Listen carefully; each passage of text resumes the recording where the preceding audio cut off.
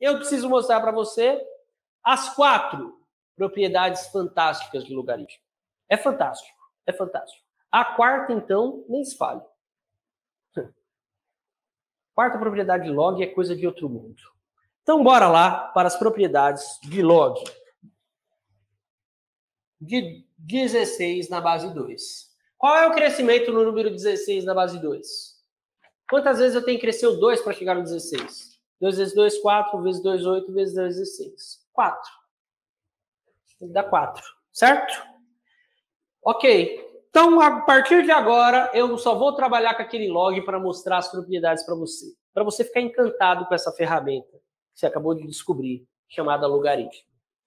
Ó, 16 é a mesma coisa que, vou colocar aqui, 2 vezes 8.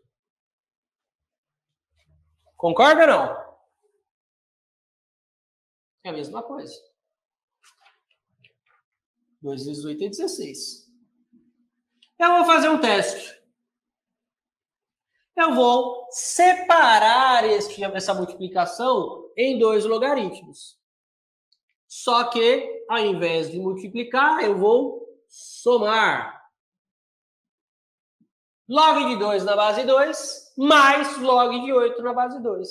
Vai que dá certo. Certo? Qual é o crescimento do número 2 para chegar no próprio 2? Uma vez só. Não precisa sair multiplicando. Uma vez. Mais. Qual é o crescimento no número 2 para chegar no 8? 2 vezes 2, 4. Vezes 2, 8. 3. Quanto que é 1 mais 3? Graças a Deus, 1 mais 3 deu 4. Uma salva de palmas para você.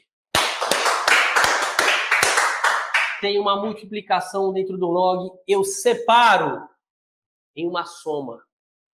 E por que, que isso é bom? Isso é bom porque eu estou com um número gigante dentro do log. 80, 810 mil. Eu transformo em 81 vezes 10. 81 vezes 10 mil. E depois eu separo em dois logs com um número muito menor, que é mais fácil de eu calcular. Eu venho aqui, ó, tá, tá, tá, tá, tá. Pi, pi, pi, pi. muito mais fácil. Você vai ver daqui a pouco. Daqui a pouco. Se eu pegar aqui, ó, quer ver? Um exemplo simples. Log na base 2 de 16 vezes 81. Quanto que é 16 vezes 81? Não sei.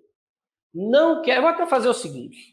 Eu vou ensinar a propriedade e resolver exercício. Ensinar a propriedade e fazer exercício. Vou pegar aqui e colocar aqui. Ó. Log de 16 vezes 81 na base 2. Quanto que é 16 vezes 81? Não sei. Tenho raiva de quem sabe. Ah, professor, mas eu sei fazer conta de problema é teu, você não é normal. Você tem que. Tá, você está com pouco boleto para pagar. Eu quero saber quanto que é 16 vezes 81. Eu sei que eu posso separar esse log em log de 16 na base 2, mais log de 81 na base 2. Qual é o crescimento de 16 na base 2? 2 vezes 2, 4. Vezes 2, 8. Vezes 2, 16. Deu 4. Mais, qual é o crescimento de 81 na base 2? 3 vezes 3, 9. Não vai rolar. Não.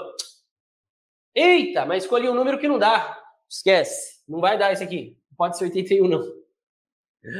Não pode, não vou conseguir resolver. Só na calculadora dele para resolver isso. Vamos pegar um outro. Vamos pegar aqui 64.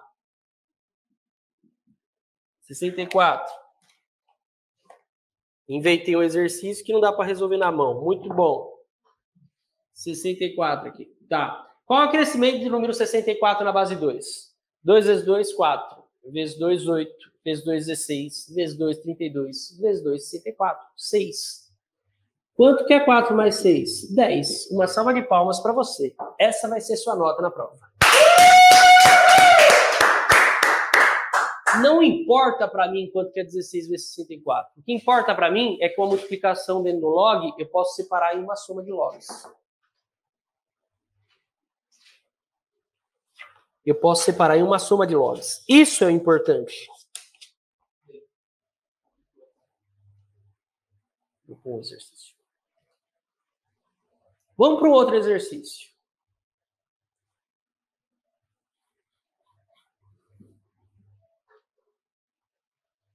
Log de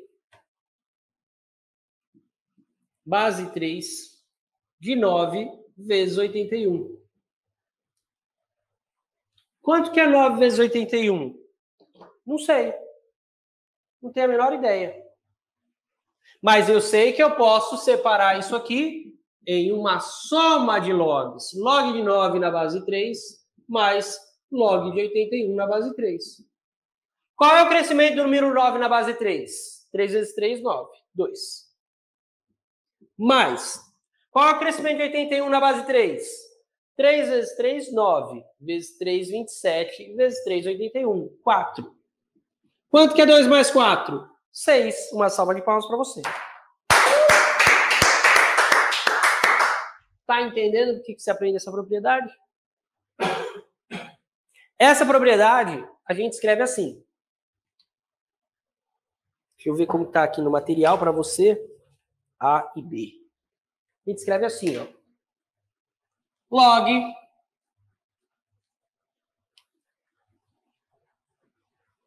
de A vezes B na base C é igual log de A mais log de B.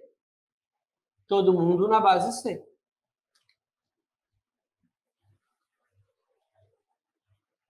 Propriedade número um. Mas são quatro, né?